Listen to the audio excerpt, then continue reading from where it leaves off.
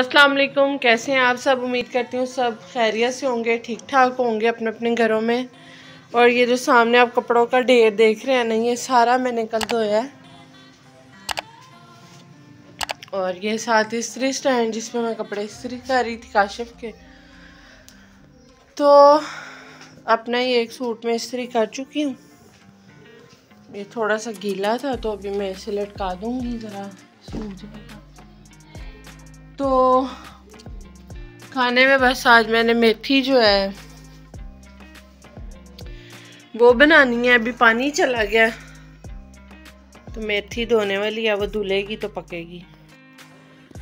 तो आज जो है, वो बस करने के लिए ज़्यादा काम है, क्योंकि कल संडे गुजरा है। तो संडे को आपको पता है, ज़रा और रूटीन होती है और सैटरडे मतलब आम मंडे वाले दिन और रूटीन होती है। काशिफ जैसा कि जाने शुरू हो गए ऑफ़िस। तो बस सुबह मैंने उनको ऑफ़िस भेजा और साथ ही मेथी वगैरह रेडी की, कपड़े धोए थे, वो उतार के लाई हूँ अभी अभी। तो खाना बनाना था, बच्चों को जो है वो मैं ट्यूशन छोड़ के आ चुकी हूँ साथ साथ मैं अब करूँगी कपड़े प्रेस। और अब देखते हैं और क्या हो सकता है, क्योंकि अभी खाना तो बनेगा नहीं, खाना थोड़ी देर में बन जाएगा। छः बज जाएँगे आज खाना बनते बनते। तो खैर, उतनी देर हम कपड़े प्रेस कर लेते हैं और कपड़े समेट लेते हैं तो चलें। फटाफट काम कर लेते हैं। बातें बाद में।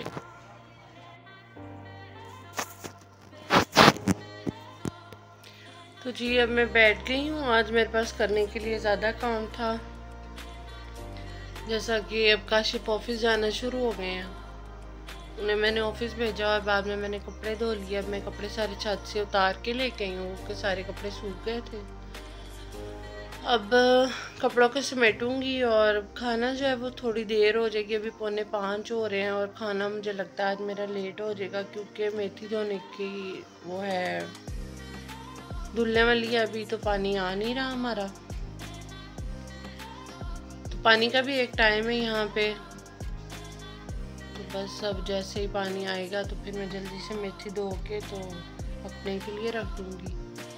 और बच्चों को मैं ट्यूशन छोड़ आई हूँ उनके। बच्चे पढ़ने चले गए हैं। तो बस जो मैंने आपको कपड़े दिखाए हैं, वो उठाऊँगी, समेटूँगी उनको उनकी जगह पे और उसके साथ ही मैंने दो जोड़े प्रेस करने हैं। वो करूँगी और चलें, ठीक है, फिर मिलती हूँ मैं आपको काम के बाद। बातें बाद में।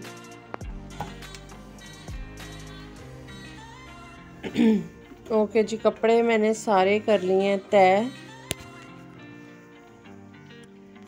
और अब मैं कर रही हूँ मेहर की मैक्सी प्रेस ये ना मैंने लीलैन के स्टाफ में बनाई थी। मुझे बड़ा अच्छा इसका प्रिंट लगा था। देख रहे हैं आप? इतनी सॉफ्ट नरम है। तो मैं कपड़े प्रेस कर लूँगी। और फिर उसके बाद किचन में चली जाऊँगी। तो सारा दिन हो जाएगा ख़त्म। पता घर के काम ऐसे हैं, आप जितने मर्ज़ी करते रहें, सारा दिन कर लें। अगर अल्लाह मियाँ ने रात ना ना बनाई हो आराम के लिए तो लोग, हम लोग जो है ना, वो रात में भी कोई ना कोई काम खोल के बैठ जाएँ, क्योंकि हम लोगों से सुकून तो होता नहीं है कि कोई वक्त आराम से बैठ जाए।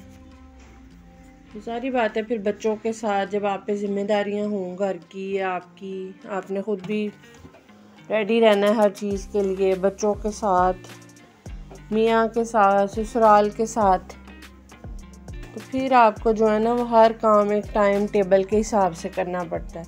अगर एक चीज़ आज मिस कर लिया तो फिर कल जो है ना, वो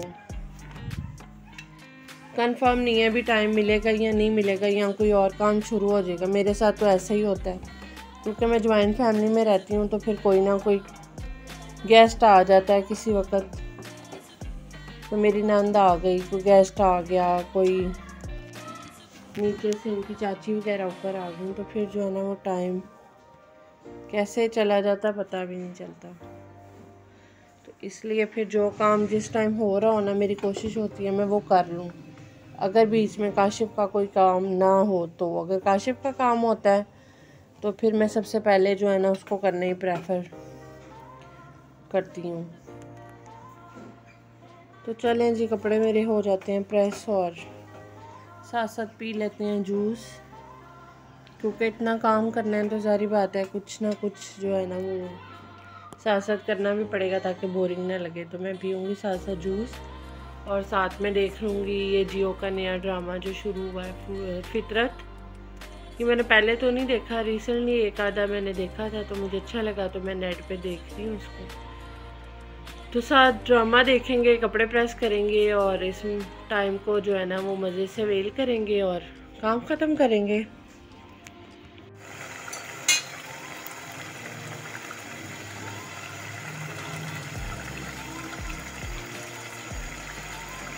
तो जी, आलू मेथी मैंने रख दी पकने के लिए, कपड़े इस्त्री भी हो गए, बस एक सूट रह गया, इस्त्री करने वाला, बाकी सब काम हो गए। सब डन है।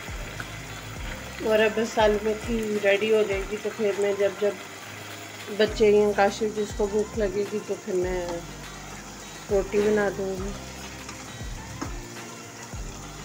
आज ना मेरे प्रेशर का ये हैंडल टूट गया, अभी अभी मैंने उसको ऐसे पकड़ा है तो वो बेचारा अल्लाह को प्यारा होगा तो मेथी मेरी देख रहे हैं, आप कितने अच्छे से भून रही है ऑयल ऊपर आ रहा है अभी इसके तो चलेंगे, जैसे ही रेडी होती है तो फिर खाने के बारे में देखा जाएगा जब जिसने खाना होगा।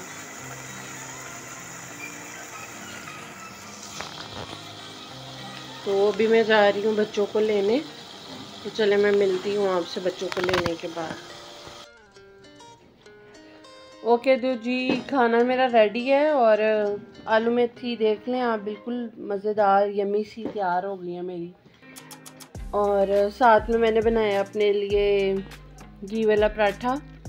और थोड़ा सा दही। ये इसलिए कि मेरे पास मक्खन भी नहीं है और देसी घी भी नहीं है। तो फिर मैंने कहा, यही लगा लेती हूँ और इसी से ही एक अच्छा सा फ्लेवर निकल के आ जाएगा। तो द बच्चे इस वक्त खाना खा चुके हैं, सब काम मेरे हो गए हैं डन अब मैं आराम से बैठ के खाना ख़त्म करूँगी और उसके बाद मैं चाय पीऊँगी। तो बस फिर गुड नाइट हो जाएगी हमारी। तो जी, इसके साथ ही आप लोग इजाज़त दें। दवाओं में याद रखें, दाऊद अपनी गेम में मसरूफ़ है। तो इसके साथ ही अल्लाह हाफिज़।